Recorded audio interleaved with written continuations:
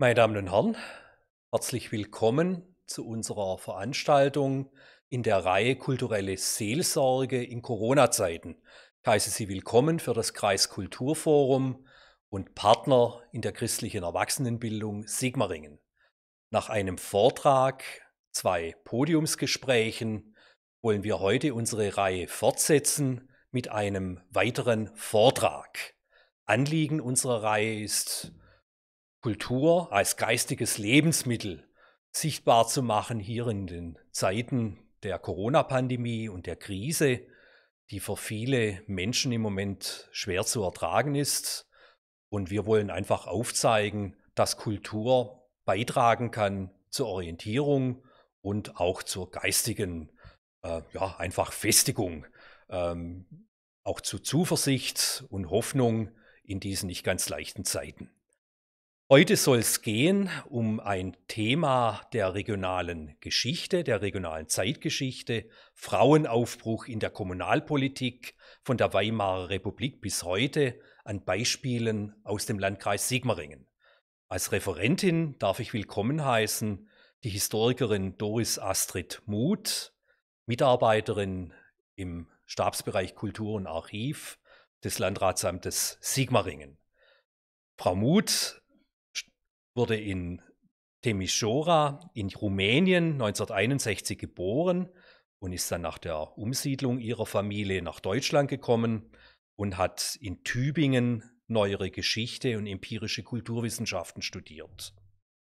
Sie war anschließend über viele Jahre im Museumsbereich tätig beschäftigt und war auch landesgeschichtlich forschend und vermittelnd tätig Sie hat einen Schwerpunkt, auch ihre Masterarbeit, Magisterarbeit war das, glaube ich, ähm, zur Zeit der Säkularisation im Kloster Habstal untersucht.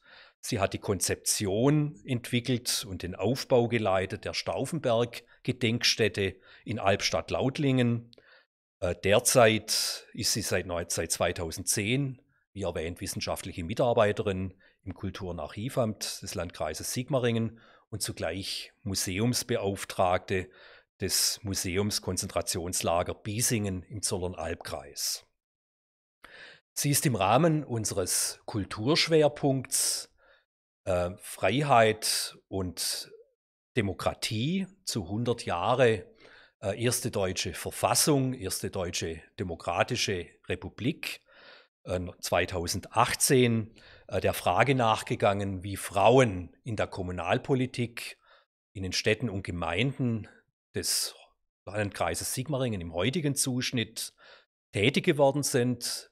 Seit dem Ersten Weltkrieg, seit der, Demo, äh, seit der Weimarer Reichsverfassung, besaßen Frauen ja auch sowohl das passive wie das aktive Wahlrecht.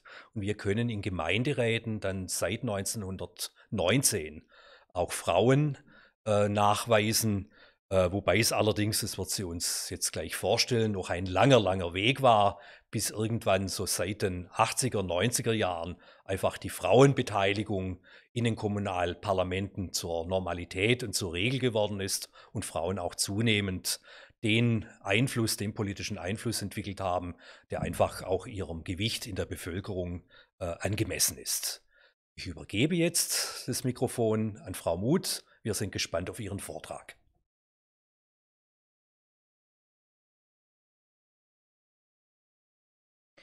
Ja, herzlich willkommen auch von meiner Seite zu meinem Vortrag über den Frauenaufbruch in der Kommunalpolitik.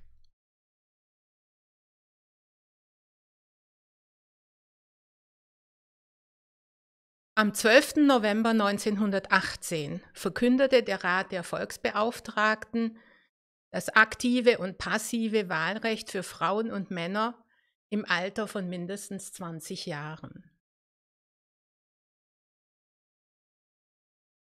Reichsweit ausüben konnten Frauen ihre neu gewonnenen Rechte zu wählen und gewählt zu werden, erstmals am 19. Januar 1919 bei der Wahl zur verfassunggebenden Nationalversammlung.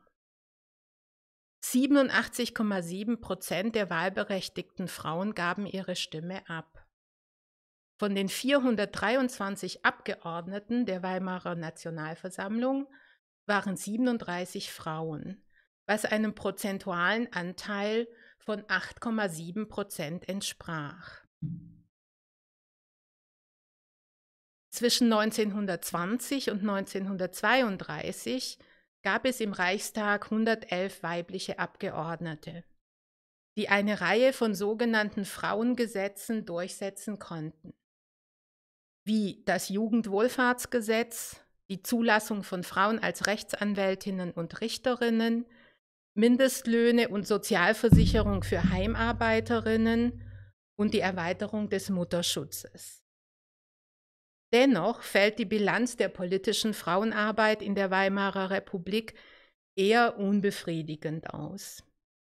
Zum einen führte die Konzentration der Parlamentarierinnen auf Frauenthemen dazu, dass die Debatten in den Ausschüssen und Plenarsitzungen abfällig als Weiberkram bezeichnet wurden. Zudem war es für Frauen schwierig, bei Reichstags-, Landtags- und Gemeindewahlen einen sicheren Listenplatz zu ergattern, wovon aber ein Mandat unter dem reinen Verhältniswahlrecht abhing.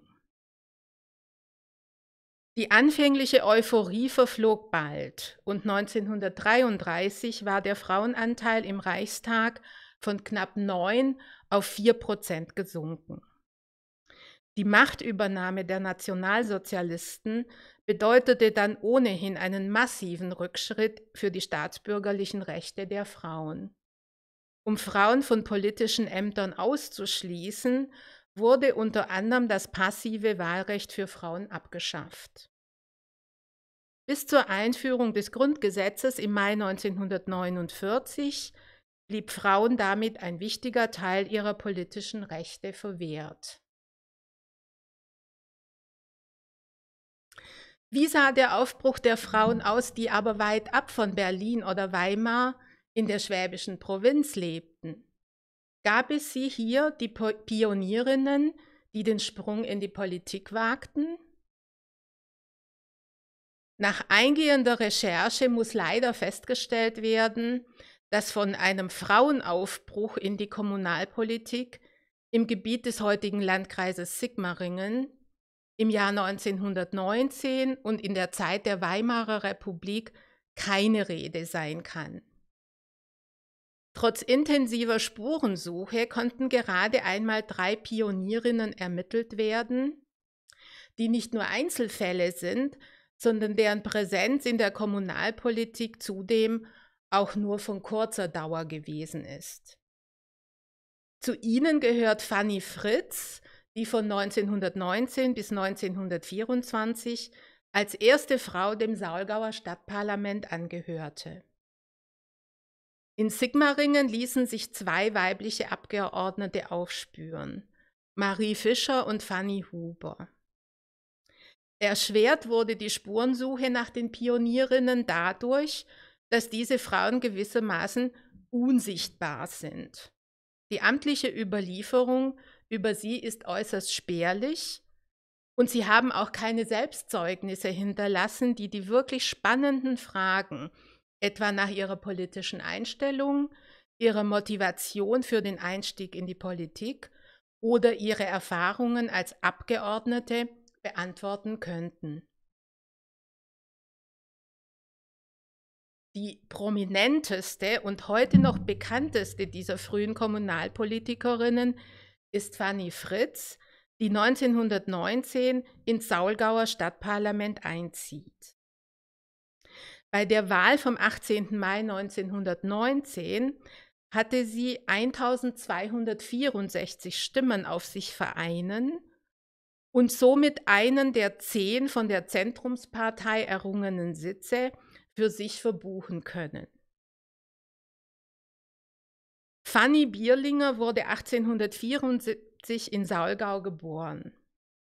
Ihr Vater Balthasar Bierlinger war Oberlehrer am katholischen Lehrerseminar, das übrigens auch von Matthias Erzberger frequentiert wurde, der dort 1894 die Volksschullehrerprüfung ablegte. In ihrem Elternhaus dürfte Fanny somit in einer bildungsaffinen Atmosphäre aufgewachsen sein. Als Gemeinderätin gehörte sie später dem katholischen Ortsschulrat an.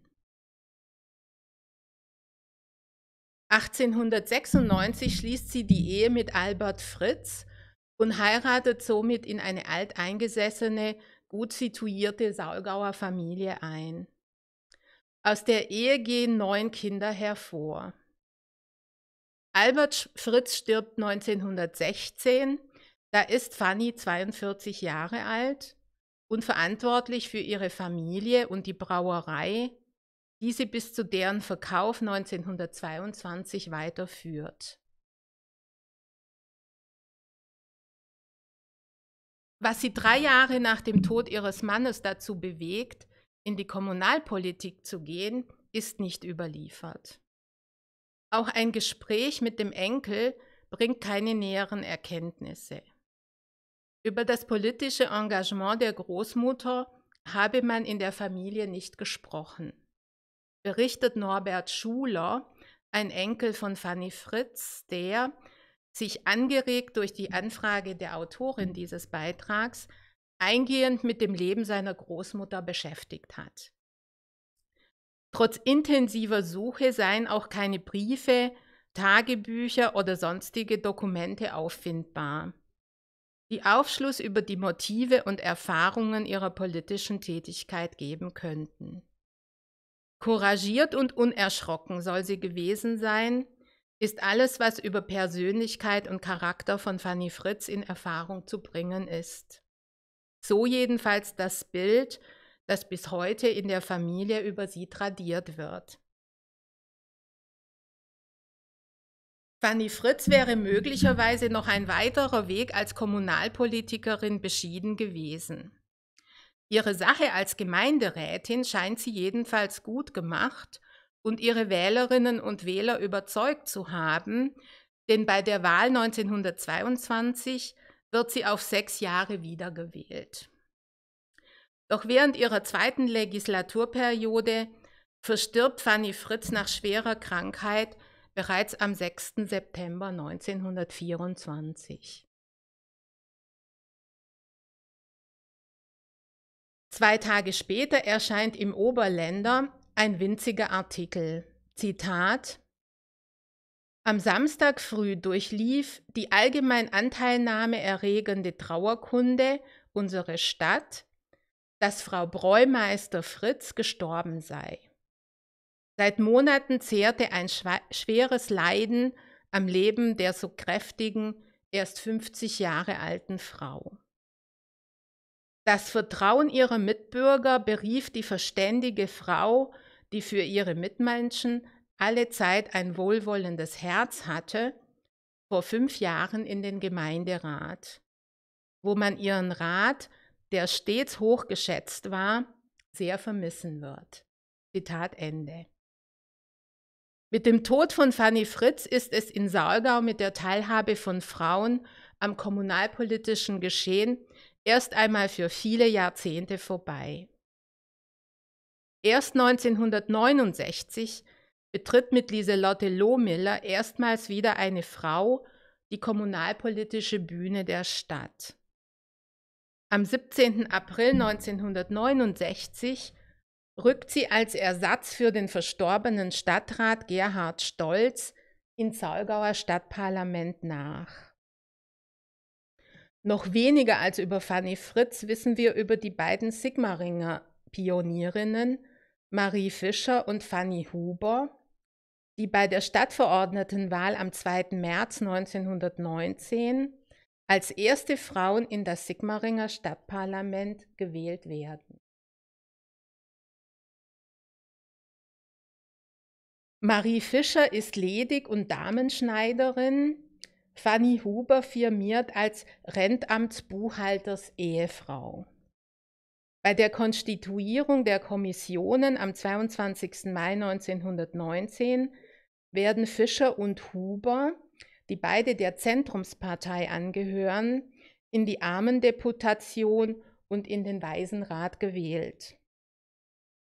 Doch während Fanny Fritz in Saulgau nach Ablauf der ersten Legislaturperiode wiedergewählt wird, handelt es sich bei den Sigmaringer Rätinnen um Eintagsfliegen.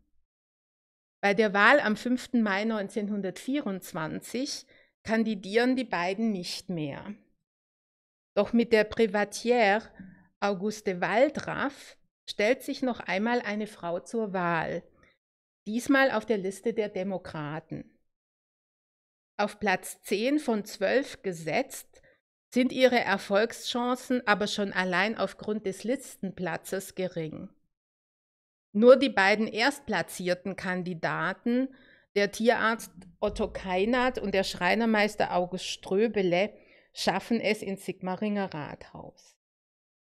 Damit ist es dann auch in der Sigmaringer Kommunalpolitik mit dem Frauenaufbruch erst einmal vorbei. Bei den Gemeindewahlen 1929 und am 12. März 1933, der letzten sogenannten demokratischen Wahl, tauchen keine Frauen mehr als Kandidatinnen auf.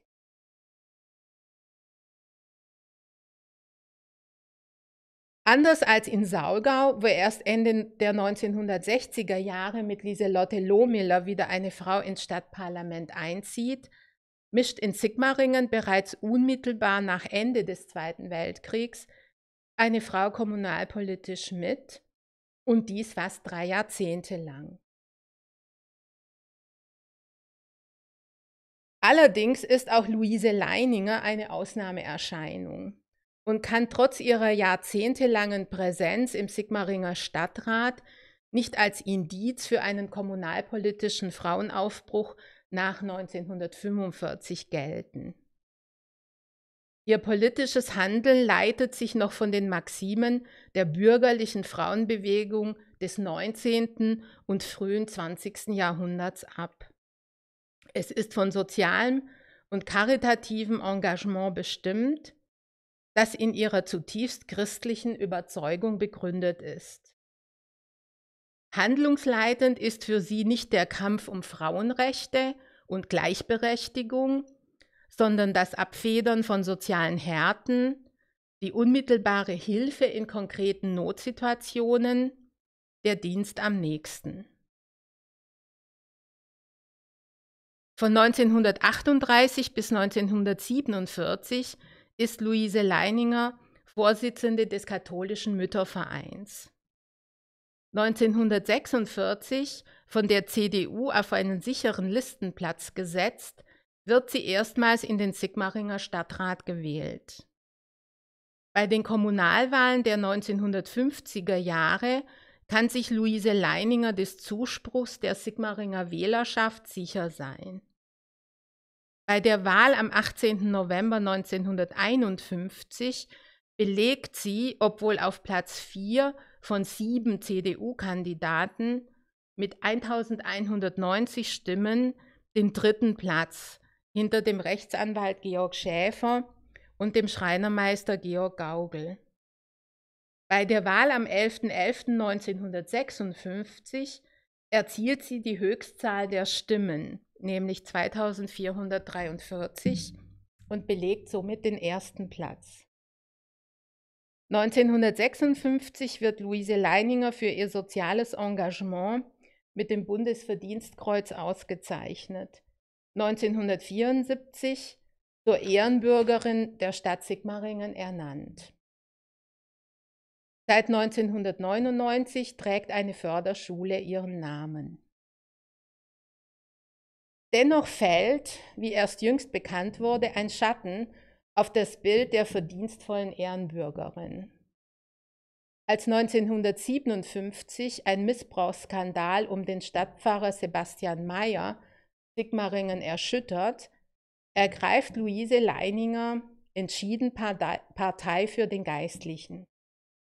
In einer von ihr einberufenen Katholikenversammlung initiiert sie eine Unterschriftenliste und hält eine flammende Rede, in der sie den des Kindesmissbrauchs beschuldigten und später dafür auch verurteilten Meyer von jeglicher Schuld reinwäscht und seine Integrität beteuert.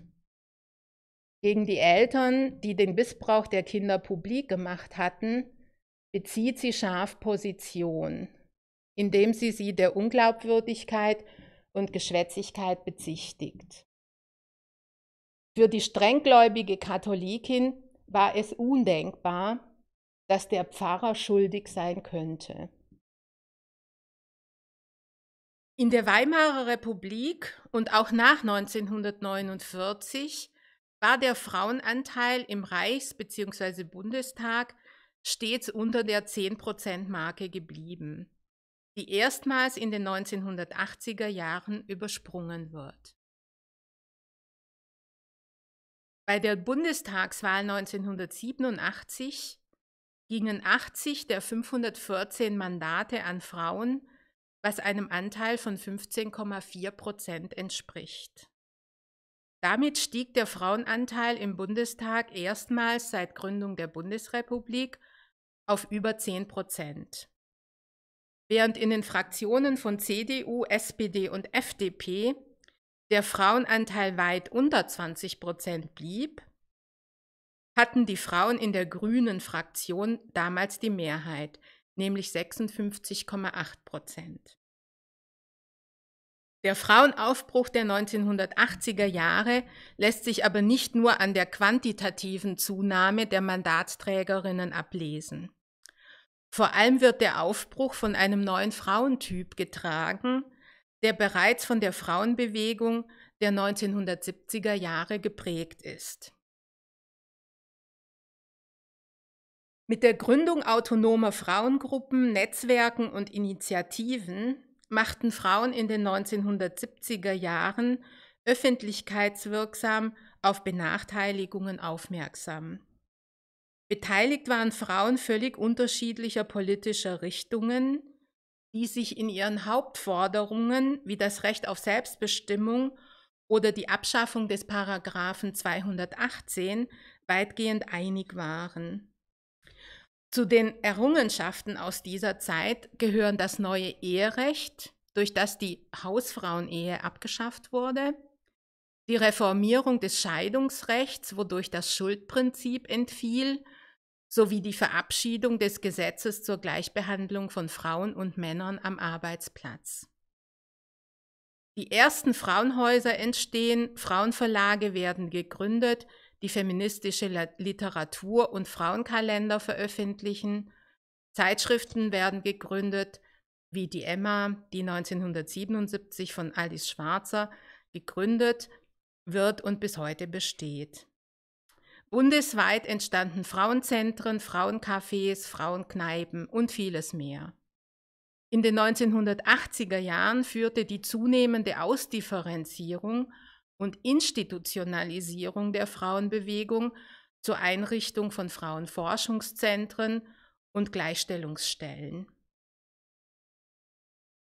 Eine Pionierin und Zeitzeugin des Frauenaufbruchs der 1980er Jahre, der auch im Kreis Sigmaringen seinen Widerhall fand, ist Elisabeth Volk, die am 28. Oktober 1979 in den Kreistag gewählt wird und über vier Legislaturperioden hinweg bis 1999 als Kreisrätin aktiv war.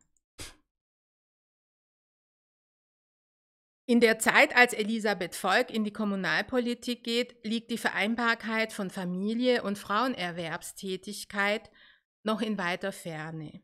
Zitat Sobald Kinder da waren, wurde für Frauen alles schwerer resümiert Elisabeth Volk rückblickend in einem Interview mit der Autorin dieses Beitrags vom Oktober 2018. Berufstätigkeit und Familie miteinander zu verbinden, sei schon unendlich schwer gewesen. Sich dann aber auch noch politisch zu engagieren, das ging gar nicht. Sobald ihre äh, Kinder zur Schule gehen, nimmt Elisabeth Volk die Gelegenheit wahr, sich ehrenamtlich in der Elternarbeit zu engagieren.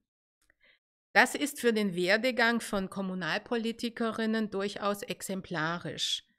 Wie Claudia Bauer zu berichten weiß, die von 1994 bis 2014 Gemeinderätin in Mengen und von 1995 bis 2016 Frauen- bzw. Gleichstellungsbeauftragte des Landkreises Sigmaringen war. Zitat Die Frauen, die sich in der Kommunalpolitik engagiert haben, kamen überwiegend aus der Elternarbeit. Die wurden im Kindergarten oder in der Schule als Elternvertreterin gewählt und gerieten so in den Blickfeld der Parteien. Die hat man dann auch gefragt, ob sie kandidieren möchten. Zitat Ende. So waren es dann auch weniger berufstätige Frauen, die in die Kommunalpolitik gingen, sondern vor allem Frauen, die aus dem Ehrenamt kamen und dann die Themen aus ihrem ehrenamtlichen Engagement in die Kommunalpolitik hineingetragen und besetzt haben. Das führte dazu, dass Frauen lange stark auf soziale Themen fokussiert blieben. Ihrem Bekanntheitsgrad in Leitz verdankt Elisabeth Volk es, dass sie vom CDU-Ortsverband für die Kreistagswahl als Kandidatin vorgeschlagen wird. Der Ortsvereinsvorsitzende sei der Meinung gewesen, dass, Zitat, es mal gut wäre, eine Frau aufzustellen. Obwohl auf der vom Stadtverband Sigmaringen aufgestellten Liste an letzter Stelle platziert, wird Elisabeth Volk auf Anhieb in den Kreistag gewählt. Nach Alfred Niklas und Anton Kirsch findet sie sich an dritter Stelle wieder. Zitat Die haben mich auf den letzten Platz gesetzt, aber das Wählervotum war anders.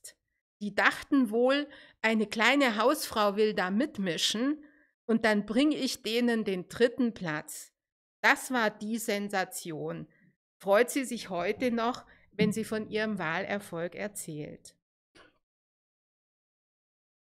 Auf die Frage, wie es ihr nach ihr, ihrem Einzug in den Kreistag denn ergangen sei, meint Elisabeth Volk, Zitat, ich habe schon einen Kampf gehabt mit den Männern. Der Umgang mit den männlichen Kreistagskollegen sei in vielerlei Hinsicht nicht einfach gewesen.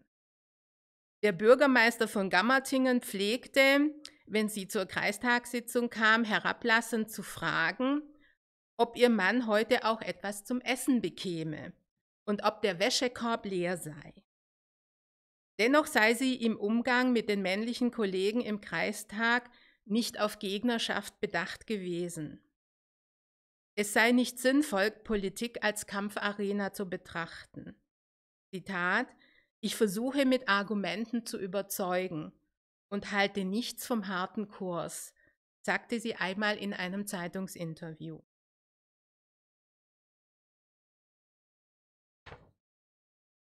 Als Kreisrätin sieht Elisabeth Volk den Schwerpunkt ihrer Arbeit in der Familien- und Sozialpolitik werden Frauen doch im täglichen Leben ständig damit konfrontiert.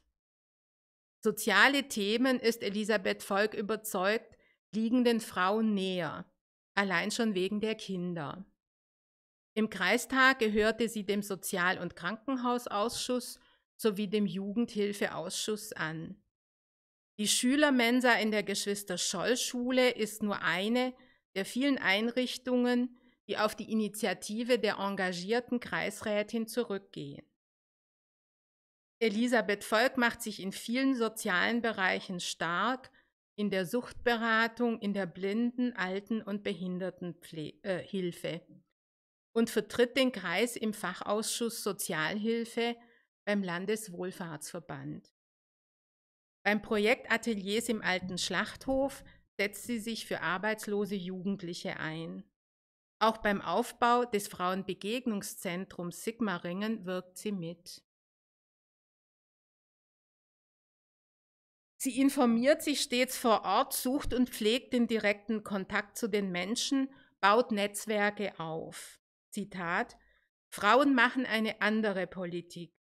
Sie gehen tiefer rein, ist Elisabeth Volk überzeugt und sie sorgen für ein breiteres und ausgewogeneres Themenspektrum in den Kommunalparlamenten, stellt auch Susanne Fuchs, langjährige Sigmaringer Stadträtin, fest. Zitat Frauen bringen den Alltag in die Kommunalpolitik. Sie positionieren Themen, auf die Männer von sich aus gar nicht kämen. Ob es sich nun um die Einführung von Niederflurbussen, die Einrichtung von städtischen Toiletten, eine Abschattung für den Kinderspielplatz, die Einführung von Vollwertkost in den Mensen oder die einkommensabhängige Kita-Gebühr sind. Themen, deren Relevanz sich den Frauen oft durch die Erziehungsarbeit erschließt. Für die Männer sei es aber auch ein schwieriger Lernprozess gewesen, mit den Kreistagskolleginnen umzugehen, zumal sie ein ganz anderes Frauenbild verinnerlicht hatten. Aus ihren Berufen seien sie es gewöhnt gewesen, so Elisabeth Volk, dass ihre Mitarbeiterinnen kuschen. Diese Einschätzung teilt auch Claudia Bauer aus ihrer Erfahrung aus dem Mengener Gemeinderat. Zitat in so einem Gemeinderat bildet sich ab, was in der Gesellschaft los ist. Frauen, die intelligent sind und sich trauen, etwas zu sagen, mit denen kam einer, der ein anderes Frauenbild hatte, nicht klar. Ihr Frauenbild nahmen die Männer ja mit ins Gremium. Zitat Ende. Damals vertraten Männer noch Meinungen, die sich heute keiner mehr trauen würde, offen auszusprechen. So wurden beispielsweise Frauen, die arbeiten gingen und ihre Kinder frühzeitig in eine Kita gaben, als schlechte Mütter abgestempelt. Frauen gehören nach Hause war die einhellige Meinung, die damals ohne Hemmungen ausgesprochen wurde.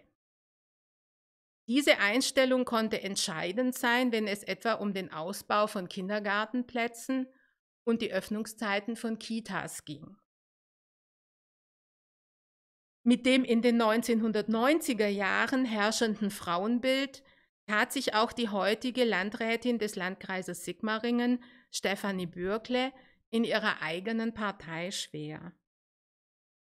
Nach Auffassung der CDU sah die Aufgabenverteilung so aus, dass der Mann für das Gesellschaftliche und der, den Broterwerb zuständig ist, die Frau für das Funktionieren der Familie. Dass Frauen arbeiten wollten, war bei diesem traditionellen Rollenverständnis überhaupt nicht vorgesehen. Stefanie Bürkle erinnert sich an eine Rede Erwin Teufels, bei der sie, wie sie selbst sagt, kochend im Saal saß.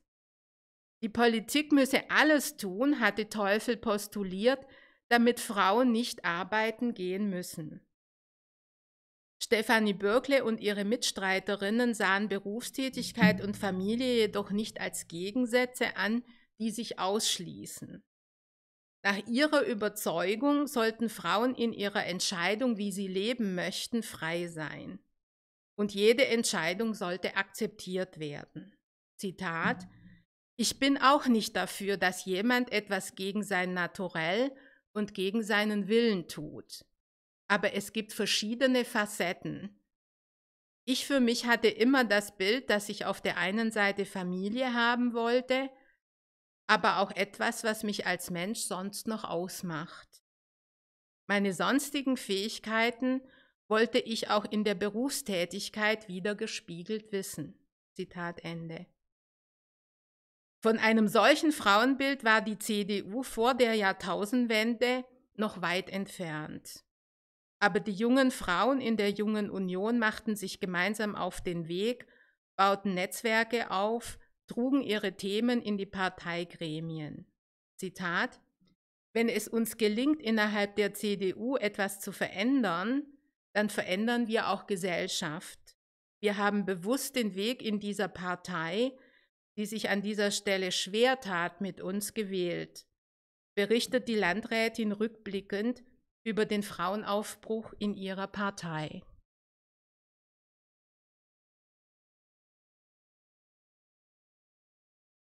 Gehört Elisabeth Volk zu den Pionierinnen des Frauenaufbruchs der 1980er Jahre, haben wir es heute mit einer neuen Generation von Kommunalpolitikerinnen zu tun, die auf dem von ihren Vorgängerinnen erkämpften und erreichten aufbauen und zukunftsweisende Wege gehen können, wofür auch der Kreistag Sigmaringen exemplarisch ist. So waren in der Legislaturperiode 2014-2019 Von den 42 Mitgliedern des Kreisparlaments fünf Frauen, was einem Anteil von 12 Prozent entspricht. Betrachtet man die Rolle dieser fünf Frauen im Kreisparlament, wäre es jedoch völlig verfehlt, diese an der Zahl fünf beziehungsweise ihrem tatsächlich niedrigen Anteil von 12 Prozent festzumachen. Aus diesen Zahlen lässt sich nicht ableiten, welches Gewicht die Frauen im Gremium haben und welchen Einfluss sie auf die Kreispolitik ausüben.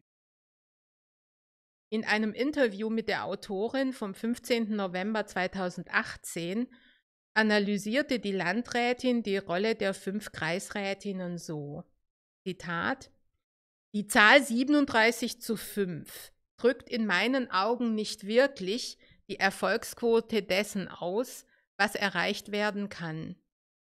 Jede der fünf Frauen ist äußerst aktiv, selbstbewusst, positioniert ihre Themen taktisch klug, leistet in den jeweiligen Fraktionen Überzeugungsarbeit. Zitat Ende. Worauf es ankomme, sei, ob diejenige selbst eine Vorstellung davon hat, was sie erreichen möchte, ob sie das Selbstbewusstsein hat, die Stimme zu erheben, sich zu artikulieren und ihren Standpunkt zu formulieren. Und ob sie die Begabung hat, Netzwerke zu bilden und Mehrheiten zu organisieren. Zitat und da würde ich behaupten, die fünf Kreisrätinnen haben das. Deshalb werden die Positionen, die diese fünf Frauen vertreten, sehr, sehr häufig dann auch zu Mehrheitspositionen.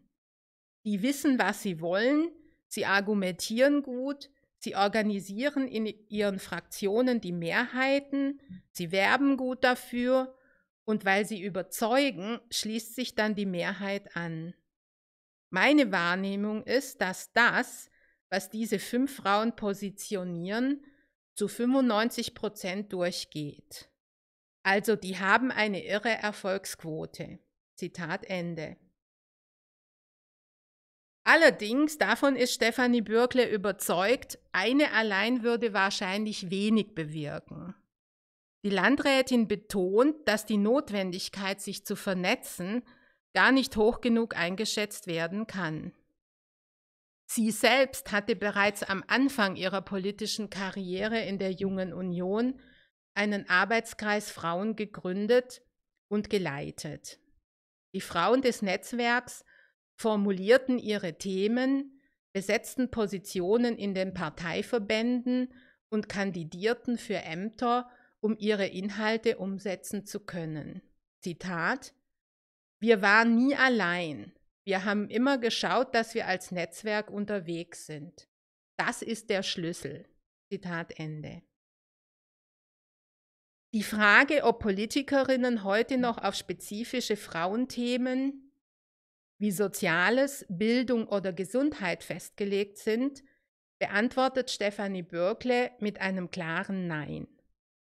Zitat, und das ist gut so, betont die Landrätin. Frauen würden gut daran tun, sich beispielsweise um das Thema Finanzen zu kümmern. Denn, Zitat, bei Finanzen wird politischer Inhalt verbindlich.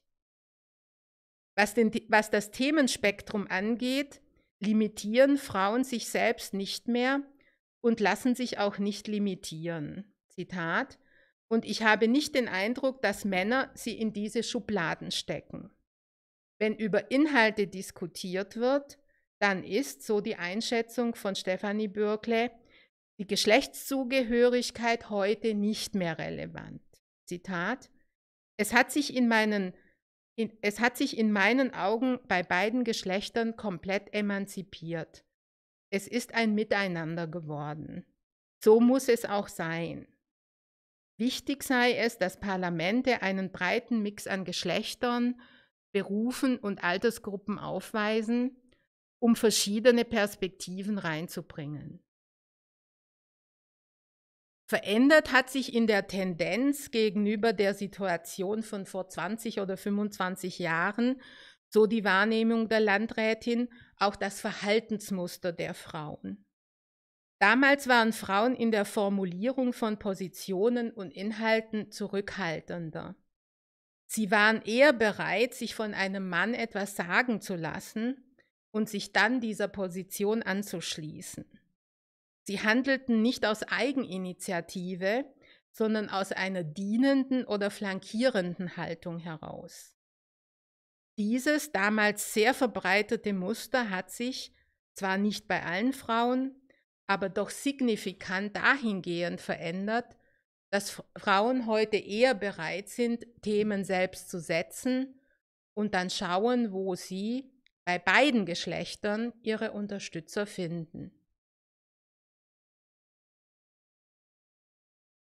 Trotz dieser positiven Entwicklungen, die Unterrepräsentanz von Frauen in den Parlamenten auf allen Ebenen gehört auch 100 Jahre nach Einführung des Frauenwahlrechts immer noch zum politischen Alltag. Die Ursachen für die Unterrepräsentanz von Frauen sind vielschichtig. Zum einen sind sie strukturell bedingt, zum anderen haben sie aber auch etwas mit der Sozialisation, der Rollenzuschreibung durch das Umfeld, aber auch mit der Selbstwahrnehmung der Frauen zu tun. Auch heute noch ist die geschlechtsspezifische Arbeitsteilung eine der Hauptgründe, warum politisches Engagement für Frauen schwieriger in ihre Lebenswelt zu integrieren ist als für Männer. Aufgrund der Mehrfachbelastung durch Beruf, Haushalt, Kindererziehung und Familienarbeit verfügen viele Frauen über ein zu geringes Zeitbudget, um noch ein politisches Mandat ausüben zu können. Haben Frauen den Sprung in ein politisches Gremium geschafft, ist es häufig die politische Kultur im weitesten Sinne, die die Attraktivität kommunalpolitischer Arbeit aus Sicht der Frauen schmälert.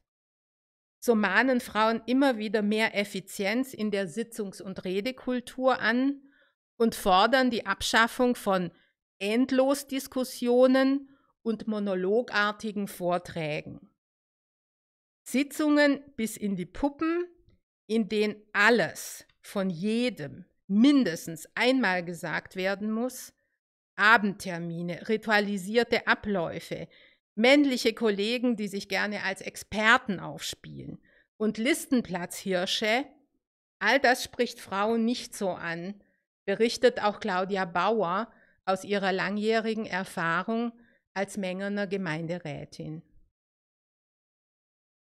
Hindernisse, die es Frauen schwer machen, den Weg in die Politik zu finden, haben aber auch mit der Dialektik von Selbstwahrnehmung und Fremdwahrnehmung zu tun. Die geschlechtsspezifischen Rollenbilder, mit denen Frauen sozialisiert werden, sehen eine politische Karriere für Frauen eher nicht vor, weshalb Frauen tendenziell ein geringeres Interesse an Politik als Männer haben und weniger Selbstvertrauen entwickeln, um, sich aus, um von sich aus ein politisches Amt anzustreben. Umgekehrt wird ihnen auch von ihrem Umfeld weniger politisches Geschick und Durchsetzungskraft zugetraut. Diese Kompetenzen werden immer noch eher Männern zugeschrieben. Dass es auch anders gehen kann, darüber berichtet Stefanie Bürkle aus ihrer eigenen politischen Biografie. Die Bereitschaft, Initiative zu ergreifen, selbst aktiv zu werden, seine Lebenswelt gestalten zu wollen, beginnt, nach Einschätzung der Landrätin, schon in der Kindheit im Elternhaus. Zitat Die Wurzeln, dass ich ein politisch denkender und handelnder Mensch bin, liegen in meiner Familie begründet. Stefanie Bürkle wuchs in einer Atmosphäre auf, in der den Kindern viel Freiraum eingeräumt wurde. Mach mal selber war die Devise der Eltern. Eigenverantwortung und Selbstständigkeit, Dinge selbst ausprobieren, das war gefragt. Die Eltern hätten die Kinder wenig gesteuert und auch nicht ständig gefragt, ob sie auch alles richtig machen. Zitat, ich wäre sonst nie so selbstständig geworden, wie ich es heute bin, ist Stefanie Bürkle überzeugt. Die Bereitschaft zum politischen Engagement hat ihre Wurzeln oft schon im Kindes- und Jugendalter. Spätere Politikerinnen waren schon engagiert in der Schule, im Jugendzentrum oder in der Jugendorganisation einer Partei. Hier fanden Schlüsselerlebnisse statt, die das spätere politische Engagement befördert haben. Auch für Stefanie Bürkle erfolgte die Initialzündung für den Einstieg in die Politik aufgrund einer Erfahrung, die sie bereits mit neun oder zehn Jahren gemacht hatte. Damals hatten sie und ihre Clique auf der Suche nach einem geeigneten Platz zum Rollschuhlaufen eine Unterschriftenaktion gestartet und die gesammelten Unterschriften dem amtierenden Oberbürgermeister überreicht. Die Initiative der Kinder hatte Erfolg. Ein Spielplatz nicht nur zum Rollschuhlaufen, sondern als Treffpunkt für Kinder und Jugendliche wurde angelegt. Für die heutige Landrätin war diese Erfahrung prägend. Zitat, da ist was draus geworden. Es hat Spaß gemacht und man hat etwas erreicht. Du bist nicht ausgeliefert, nicht andere tun etwas für dich.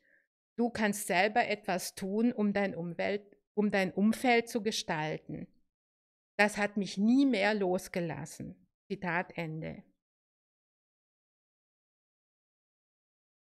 Es war ein langer Weg von den ersten Gemeinderätinnen Fanny Fritz, Marie Fischer und Fanny Huber bis zur Landrätin Stefanie Bürkle.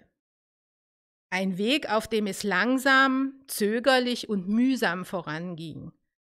Ein Weg, der je und brutal unterbrochen wurde durch den Zivilisationsbruch und die Unrechtsherrschaft der Nationalsozialisten. Ein Weg, auf dem viele Jahrzehnte Stillstand herrschte, als nur einzelne Frauen als Ausnahmeerscheinungen in der Politik präsent waren. Doch mit dem politischen und gesellschaftlichen Aufbruch der 1960er Jahre, der eine generelle Liberalisierung, Demokratisierung und Emanzipierung in Politik und Gesellschaft, aber auch im Denken, in der Lebenswelt und Alltagskultur nach sich zog, kam in den 1980er Jahren der Frauenaufbruch. Unaufhaltsam, dauerhaft und nachhaltig. Eine Entwicklung, die sich auf breiter Basis vollzog und die unumkehrbar ist. Denn auch wenn Frauen nach wie vor in den Parlamenten unterrepräsentiert und zahlenmäßig in der Minderheit sind, aus der Politik sind sie nicht mehr wegzudenken. Doch gilt es, wachsam zu bleiben. Die Unterrepräsentanz und der nach wie vor nicht verwirklichte Anspruch auf Gleichstellung von Frauen nicht nur in der Politik, sondern auch in der Arbeitswelt und anderen Lebensbereichen, bleibt eine Herausforderung. Zwar ist die Problematik hinlänglich bekannt und wird ständig zu Recht beklagt, doch haben alle Bemühungen, Maßnahmen und Strategien bisher nicht zum angestrebten Ziel geführt. Weniger bewusst und im öffentlichen Diskurs weniger präsent ist jedoch auch noch eine andere Gefahr, nämlich die vor allem bei jüngeren Frauen zu beobachtende Tendenz, das in, den, das in den letzten Jahrzehnten von der Frauenbewegung erkämpfte und erreichte, als selbstverständlich hinzunehmen oder gar zur Disposition zu stellen. Die Bereitschaft, angesichts von Engpässen auf dem Arbeitsmarkt und einer immer unübersichtlicheren, sich immer schneller verändernden Lebenswelt alte Rollenbilder in Familie und Partnerschaft wiederzubeleben und sich auf den häuslichen Bereich zurückzuziehen, wächst. Die Gefahr eines Rückfalls in überwunden geglaubte Geschlechterrollen ist real. Hier sind Frauen, vor allem junge Frauen, gefordert, sich die eine oder andere Pionierin oder auch eine zeitgenössische politische Akteurin zum Vorbild zu nehmen. Denn Demokratie lebt vom Mitmachen, nicht vom Zuschauen. Ich danke für Ihre Aufmerksamkeit. Ganz herzlichen Dank, Doris Astrid Muth, für diesen hochinteressanten Vortrag über den Frauenaufbruch in der Kommunalpolitik, der, wenn ich es richtig verstanden habe, ein Phänomen der letzten drei bis vier Jahrzehnte ist und ja, denke ich, immer noch im Werden und in der Entwicklung sich befindet. Meine Damen und Herren, ich danke Ihnen für Ihre Aufmerksamkeit, für diesen Beitrag in unserer Reihe Kulturelle Seelsorge in Corona-Zeiten. Ich darf auf unsere nächste Veranstaltung bereits hinweisen. Wir setzen die Reihe fort am 22. Dezember um 19 Uhr mit einem Beitrag des Beuroner Benediktiners und Eremiten Bruder Jakobus Kafanke der sich dem Thema die apokalyptischen Reiter, die Corona-Pandemie aus christlicher Sicht widmet. Ich würde mich sehr freuen, wenn wir wieder auch mit diesem Thema Ihre Aufmerksamkeit finden können und dass Sie uns besuchen auf unserer Internet-Homepage, auf der Startseite des Internetauftrittes des Landkreises Sigmaringen. Auf Wiedersehen. Bis bald, hoffe ich.